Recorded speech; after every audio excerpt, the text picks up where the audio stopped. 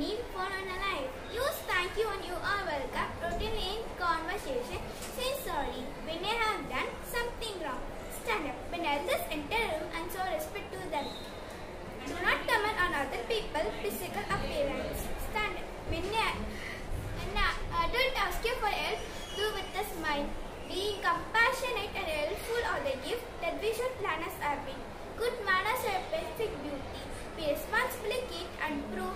lines come. Thank you.